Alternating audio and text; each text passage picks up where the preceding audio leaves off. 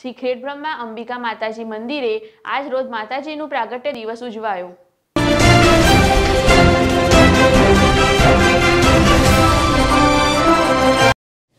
આ પ્રસંગે હજારોની સંખ્યામાં કોરોના મહામારી વચ્ચે યાત્રાળુઓએ દર્શનનો લાભ લીધો હતો. વહેલી સવારથી જ મંદિરને શણગારાયું હતું. તેમજ મંદિરે સપ્પન ભોગ ધરાવાયો હતો.